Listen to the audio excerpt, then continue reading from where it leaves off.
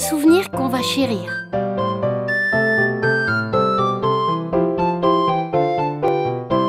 Ce matin, nous sommes tous arrivés à l'école bien contents parce qu'on va prendre une photo de la classe qui sera pour nous un souvenir que nous allons chérir toute notre vie, comme nous l'a dit la maîtresse. Elle nous a dit aussi de venir bien propre et bien coiffé. C'est avec plein de brillantines sur la tête que je suis entrée dans la cour de récréation. Tous les copains étaient déjà là et la maîtresse était en train de gronder Geoffroy qui était venu habillé en martien. Geoffroy a un papa très riche qui lui achète tous les jouets qu'il veut. Geoffroy disait à la maîtresse qu'il voulait absolument être photographié en martien et que sinon il s'en irait. Le photographe était là aussi avec son appareil, et la maîtresse lui a dit qu'il fallait faire vite, sinon nous allions rater notre cours d'arithmétique. Agnan, qui est le premier de la classe et le chouchou de la maîtresse, a dit que ce serait dommage de ne pas avoir arithmétique, parce qu'il aimait ça et qu'il avait bien fait tous ses problèmes. Eudes, un copain qui est très fort, voulait donner un coup de poing sur le nez d'Agnan, mais Agnan a des lunettes et on ne peut pas taper sur lui aussi souvent qu'on le voudrait. La maîtresse s'est mise à crier que nous étions insupportables et que si ça continuait, il n'y aurait pas de photo et qu'on irait en classe. Le photographe alors a dit Allons, allons, allons, du calme, du calme. Je sais comment il faut parler aux enfants, tout va se passer très bien. Le photographe a décidé que nous devions nous mettre sur trois rangs. Le premier rang, assis par terre. Le deuxième, debout autour de la maîtresse qui sera assise sur une chaise. Et le troisième, debout sur des caisses. Il a vraiment des bonnes idées, le photographe. Les caisses, on est allé les chercher dans la cave de l'école.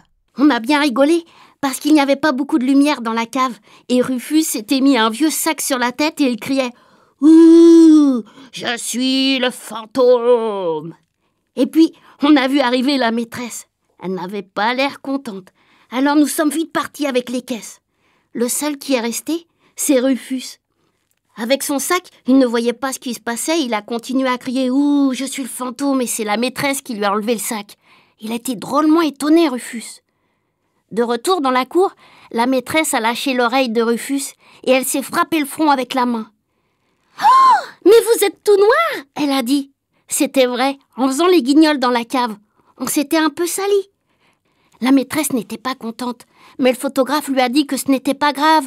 On avait le temps de se laver pendant que lui disposait les caisses et la chaise pour la photo. À part Agnan, le seul qui avait la figure propre, c'était Geoffroy, parce qu'il avait la tête dans son casque de martien qui ressemble à un bocal.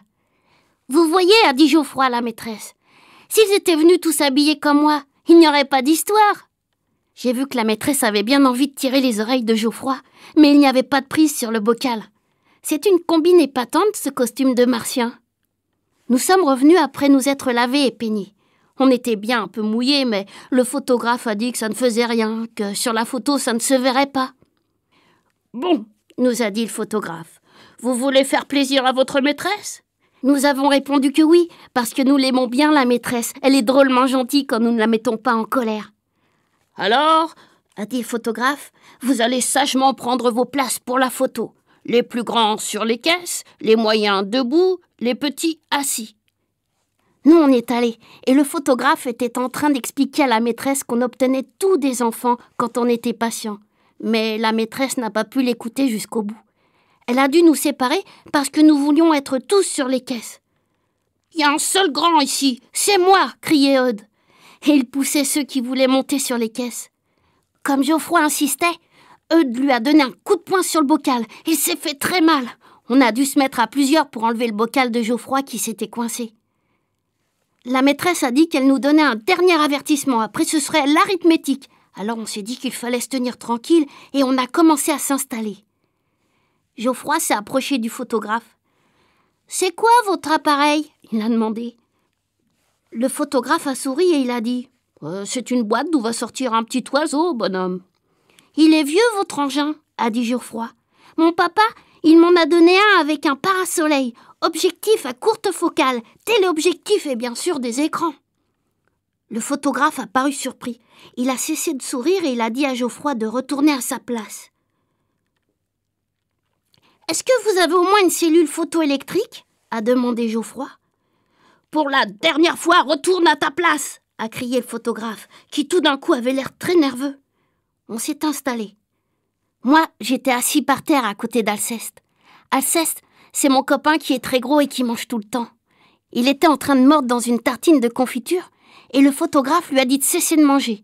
Mais Alceste a répondu qu'il fallait bien qu'il se nourrisse. Lâche cette tartine a crié la maîtresse qui était assise juste derrière Alceste. Ça l'a tellement surpris, Alceste, qu'il a laissé tomber la tartine sur sa chemise. C'est gagné a dit Alceste en essayant de racler la confiture avec son pain.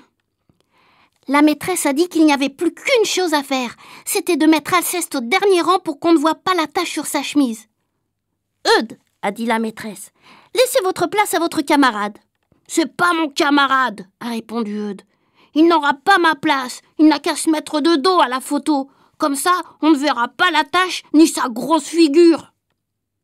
La maîtresse s'est fâchée et elle a donné comme punition à Eudes la conjugaison du verbe Je ne dois pas refuser de céder ma place à un camarade qui a renversé sur sa chemise une tartine de confiture. Eudes n'a rien dit. Il est descendu de sa caisse et il est venu vers le premier rang, tandis qu'Alceste allait vers le dernier rang. Ça a fait un peu de désordre, surtout quand Eudes a croisé Alceste. Il lui a donné un coup de poing sur le nez. Alceste a voulu donner un coup de pied à Eudes, mais Eudes a esquivé. Il est très agile. Et c'est Agnan qui a reçu le pied, heureusement, là où il n'a pas de lunettes. Ça n'a pas empêché Agnan de se mettre à pleurer et à hurler qu'il ne voyait plus, que personne ne l'aimait et qu'il voulait mourir. La maîtresse l'a consolé, l'a mouché, l'a repeigné et a puni Alceste. Il doit écrire cent fois Je ne dois pas battre un camarade qui ne me cherche pas noise et qui porte des lunettes. C'est bien fait, a dit Agnan. Alors, la maîtresse lui a donné des lignes à faire à lui aussi. Agnan, il a été tellement étonné qu'il n'a même pas pleuré. La maîtresse a commencé à les distribuer drôlement les punitions. On avait tous des tas de lignes à faire. Et finalement, la maîtresse nous a dit Maintenant, vous allez vous décider à vous tenir tranquille. Si vous êtes très gentil, je lèverai toutes les punitions. Alors, vous allez bien prendre la pause, faire un joli sourire, et le monsieur va nous prendre une belle photographie. Comme nous ne voulions pas faire de la peine à la maîtresse, on a obéi. Nous avons tous souri et on a pris la pause. Mais pour le souvenir que nous allions chérir toute notre vie, c'est raté, parce qu'on s'est aperçu que le photographe n'était plus là. Il était parti, sans rien dire.